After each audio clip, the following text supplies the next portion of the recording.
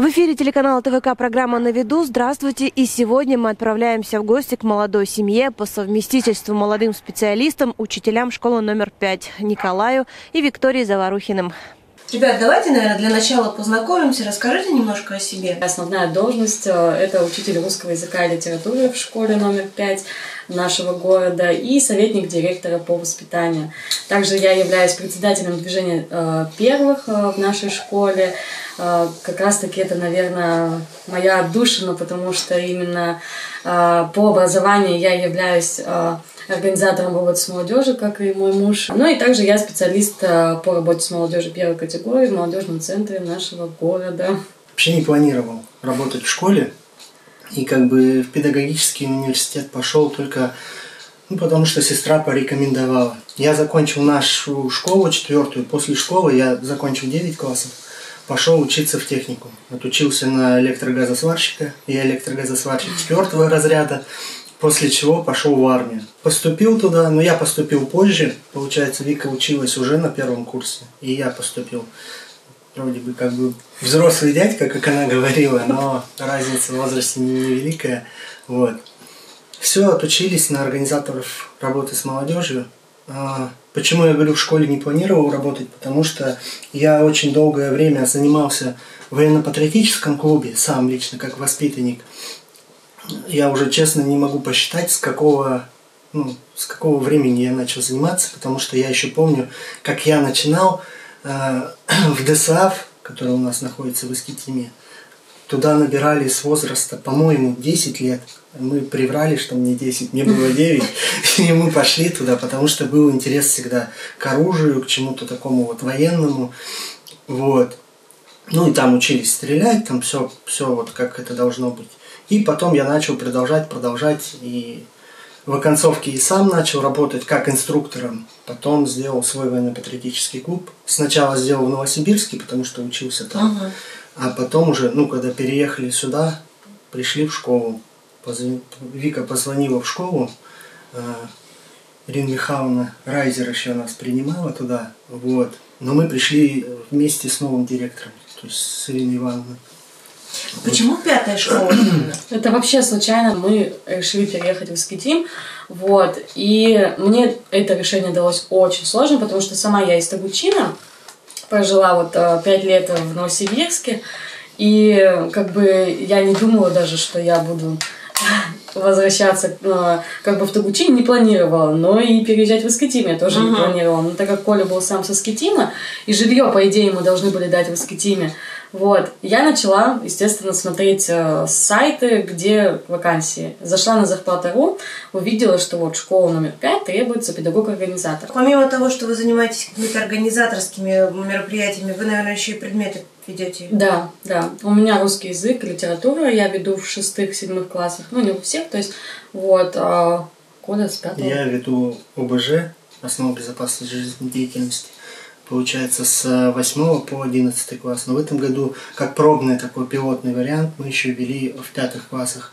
Вот. И ну, детям нравится, особенно пятому классу, они вообще в диком восторге, и у всех главный вопрос, когда же мы будем разбирать автомат.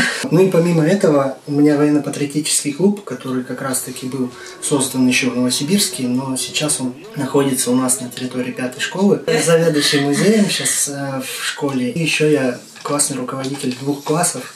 У меня два класса, это 8 Б и 8 В. Э, Один бывший мой. Да, был бывший что... Виктория Валентиновна. Но, соответственно, когда она ушла в декрет, угу мне пришлось взять два класса. Вот. Так и осталось сейчас два Да, два класса, 56 человек. Как бы. То есть у вас получается один свой ребенок дома, да, два годика доченька, на самом деле нам... Еще в школе 56. Нам дети говорят, то есть о том, что вот э, недавно вот э, наши мальчики, я причем была удивлена, что это сказали мальчики, а, они говорят, ну Николай Сергеевич, это же наш второй папа, а вы наша вторая мама. И вот, ну то есть они воспринимают, несмотря на то, что мы как как бы работаем в разных классах, да, то есть э, я веду еще функциональную грамотность у восьмых, девятых э, классов, и они воспринимают, в принципе, неважно, то есть у меня они сначала были, не у меня. Как единое целое. Да. Помимо этого всего, там, в школу я еще учусь, я дополнительно пошел учиться еще э, в магистратуру Соответственно, это два года еще учебы и просто не хватает времени на все. Но магистратура тоже педагогическая. Да. На, на том же. Он даже не выговорит, наверное, все, все название. Это Методическая деятельность и проектные технологии в дополнительном образовании молодежных сообществах. Зачем вам это?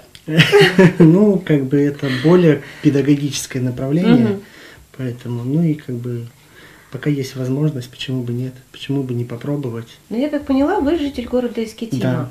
А вы все-таки приезжий человек. Да, Как я вас... вообще родилась я вообще А. в Казахстане. Ага. Вот, я родилась в, городе в городе Тимиртау, Карагандинской области.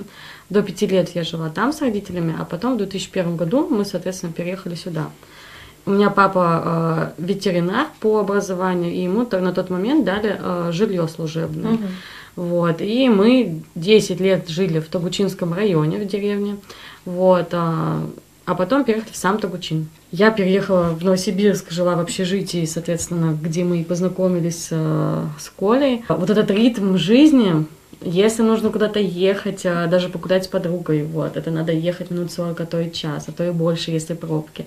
Вот это вот все, это меня просто немного на меня давило, и я поняла, что, в принципе, хочется в город поменьше. Потом у меня была мысль вернуться в Тогучин, но как-то у нас даже как-то, ну, просто вот легко получилось, и мы переехали, соответственно, сюда. Как вас встретил го- город Искитим, да, как молодых специалистов, как молодую семью? У меня, если честно, поначалу была депрессия. У меня здесь не было знакомых вообще. Вот. И поработав пару месяцев, э, я уже стала лучше там с коллективом общаться. Ну, как бы у Коли, соответственно, были знакомые, как бы друзья здесь. То есть Мгм. уже как-то было легче. Он начал меня знакомиться со своими, соответственно, друзьями, где-то коллеги там. Вот. А потом получилось так, что я ушла в декрет буквально, ну, то есть отработав э, год, а, и тогда мне тоже было тяжело, потому что он на работе, родители далеко, то есть за 150 километров, вот, и, соответственно, друзья тоже все далеко, я одна как бы с ребенком. Наверное, Коля это главный мой э, вообще моя опора в плане того, что кому не рассказываю, как он мне помогал с ребенком, у нас никогда не было разделения, что там я меняю подгузник, а ты там, допустим, всегда, то есть если он вообще во всем помогал, всегда поддерживал, давал мне там на выходных выспаться, погулять с подружками, там, то есть сходить даже потом на маникюр, то есть были такие моменты, когда действительно мне просто уже не хватало воздуха, ну как бы, и мне хотелось вот куда-то вырваться, он говорит, пожалуйста, Вик, езжай, то есть я посижу там. Отпускал. как- да, В семейной жизни вы друг, друга- друг друга поддерживаете, да. Да. друг за друга. В профессиональном Конечно. плане, вот в школе, как есть, вот чувствуете подру- под- поддержку друг Да. другу оказываете?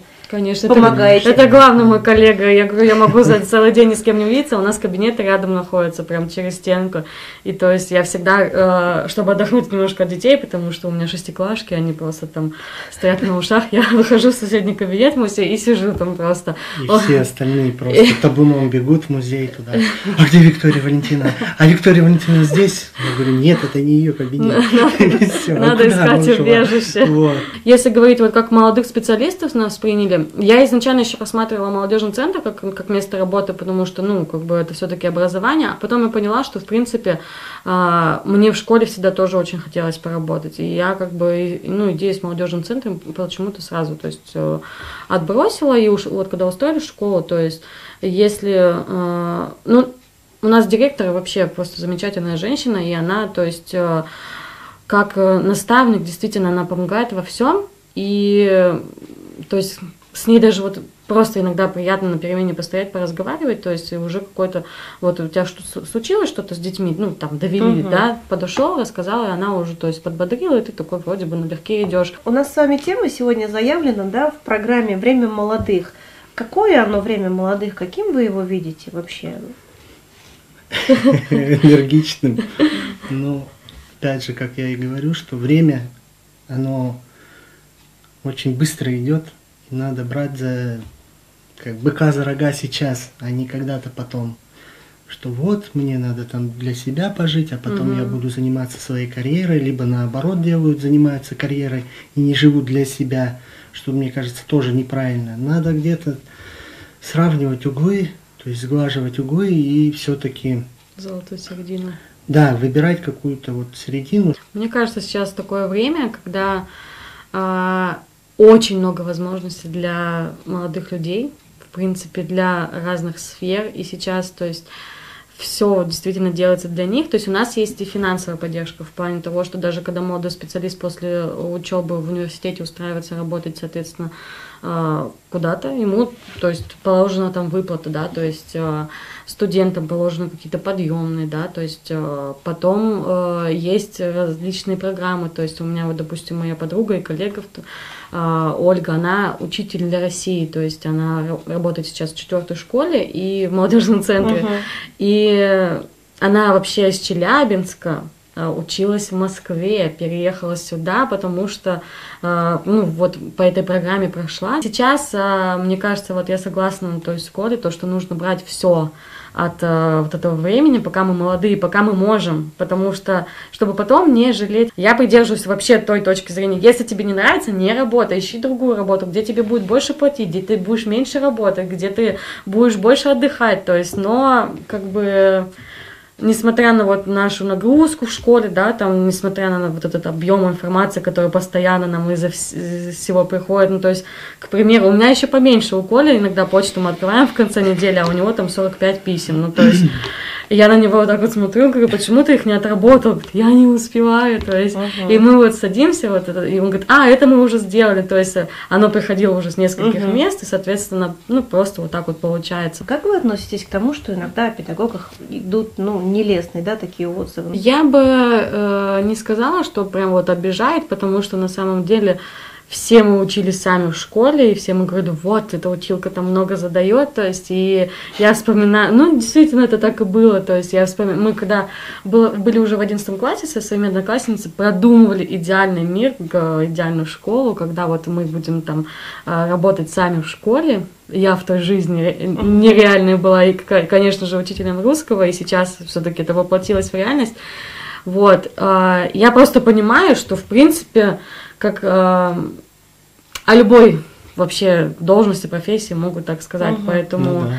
ну, как бы меня не обижает на самом деле, даже если мне скажут, я же знаю, как на самом деле, я же вижу отдачу детей. Тебя обижает? Да нет, я думаю, все-таки, если человек кого-то осуждает, ты побывай в его шкуре, а только потом уже суди по человеку, какой он хороший, какой он плохой.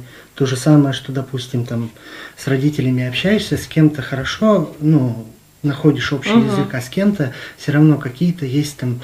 Э, недопонимания. Да, недопонимания. Но вы же тоже должны понимать, что я не могу трястись над одним ребенком. Иногда от родителей не находишь обратную связь. Угу. То есть говоришь им какую-то информацию, в ту же самую беседу там в, э, в WhatsApp, скидываешь информацию и просто понимаешь, что Игнор, ни, ни, да, никакой реакции. Вы хотя бы там плюсик поставьте ага. или как-то еще, Что чтобы услышали? я понимал, да, что вы услышали. Есть такие родители, которые вот сами идут на контакт, и это ну так радует на самом деле потому что э, с их поддержкой работается ну, как бы легче. Как вам современная система образования? Трудовое воспитание в школах надо? Всегда было, даже когда мы учились, акция «Чистый класс». Сейчас мы ее тоже проводим, но уже начинают, м-м, я не хочу. То есть мы всегда мыли полы, мы дравили вот эти парты, неважно, ты рисовал, не ты. Я учился в четвертой школе. На территории школы была клумба. То есть мы на уроках технологии скапывали эту клумбу, Потом девочки садили там цветы. Ну, как бы это было нормально. Мы помогали чистить снег. Мы же понимали, что, допустим, тот же дворник, он один. Нужно работать не только головой, но еще и руками. Это, в принципе, будет полезно потом в дальнейшем. Виктория, наверное, вам вопрос все-таки. Искитим смог стать для вас, ну, хоть немножечко, но родным таким городом? Да, наверное, особенно когда мы уже переехали в свою квартиру, то есть и сейчас элементарно, я вот буквально ну, пару месяцев назад говорила Коле о том, что э, а, все-таки какой у нас двор хороший, то есть э, все друг друга знают, там помогают, то есть э, и в школу, то есть э, на работу я сейчас просыпаюсь, у меня, ну, может быть, пока после декрета я просыпаюсь, и у меня нет такой мысли в голове, ой, не хочу на работу. То есть я иду с удовольствием, потому что мне приятно, даже если у меня какие-то там в жизни ситуации случаются ну, не очень хорошие, я все равно иду на работу и улыбаюсь, и дети заставляют меня улыбаться. То есть, и в принципе я уже настолько привыкла к Искитиму, что как-то уже, уже, да, уже домой приезжая в Тагучин, уже нет того трепетного чувства, что как бы Ну, то есть, у меня уже мама иногда справляет. Я говорю, ну мы домой пойдем. Домой? Я говорю, ну, то есть, еще даже когда жили еще на съемной квартире, uh-huh. я говорю, ну все, говорит, Тагучин, это уже не дом. Я говорю, ну почему дом, говорю, но уже немножко другой, потому ну, что... это родительский, да? Да, дом, здесь, здесь у меня уже родилась дочь, то есть, здесь uh-huh. уже как-то э, все равно какие-то события важные произошли, которые как раз-таки заставляют называть Искитим своим домом. Вам нравится вообще город, ребят? Как он меняется, как он растет, да? Он То есть... сильно развился за последнее да. время. Это видно. Может быть, да, когда ты там в подростковом возрасте не все это замечаешь, а сейчас, когда ты уже, ну, более сформированная личность, ты видишь это. Если говорить не только про внешний да, вид города, э, ну вот из внешнего мне не нравится пыль. Это угу. пыль ну. прям очень здесь. Мы когда в центре жили, то есть у нас прям подоконник прям изнутри, в смысле, в квартире угу. прям был, ну то есть он черный был, то есть проводишь рукой каждый день, и он прям черный. Вот, и я понимаю, что мы этим дышим, у нас тогда еще м, дочь была совсем маленькая, то есть ей буквально там месяц-два было, пока мы еще не переехали. Вот. И машину, соответственно, тоже мы приезжали даже на мойку, нам говорили, вам нужно мыть машину с уксусом. С уксусом мыли машину, потому да. что пыль все равно ну, цементная да. такая, она не угу. смывается. Ну а в целом сейчас, мне кажется, для молодежи как раз-таки реализуется огромное количество и мероприятий. Если кто-то из знакомых, допустим, из ваших бы спросил бы, ребят, ну мы вот хотим куда-то переехать, посоветовали бы Скитим? Если по Новосибирской области, то почему бы и нет? То есть, потому что брать, опять же, допустим, Тагучин, он немножко дальше. Угу. То есть у нас, в принципе, очень хорошее расположение, потому что до города угу. ехать можно там, то есть доехать и за 45 минут, и за угу. час, допустим, да. Он, в принципе, ну, как бы и близко, и электрички очень часто ходят, вот, и, в принципе, есть все для обычной жизни, то есть современного человека. У нас все есть э, и госуслуги, эти кто не МФЦ, то есть это уже, наверное, распространено. И кофейни сейчас, то есть, строятся, то есть, и... Ну, ну досуг тоже можно меня... кинотеатр, в принципе, тоже есть. Кинотеатр, да, тоже есть, для меня это важно. Театры приезжают, дома культуры работают. Да, парки, то есть у нас индустриальный парк сделали, да, у нас на, на Южном тоже парки все вот эти сделаны. И у меня даже тетя моя, приезжая с Новосибирска, мы когда гуляли по парку Каратеева, она сказала, вау, какой у вас красивый парк. В принципе, это очень хорошее место для Молодежи. Молодежи. И не только. Почему? Не только молодежи, в принципе, для взрослых. В эфире телеканала ТВК была программа «На виду» и с молодыми учителями Викторией и Николаем Заварухиными мы обсудили современную систему образования, патриотическое воспитание, о том, как растет и развивается город. До свидания.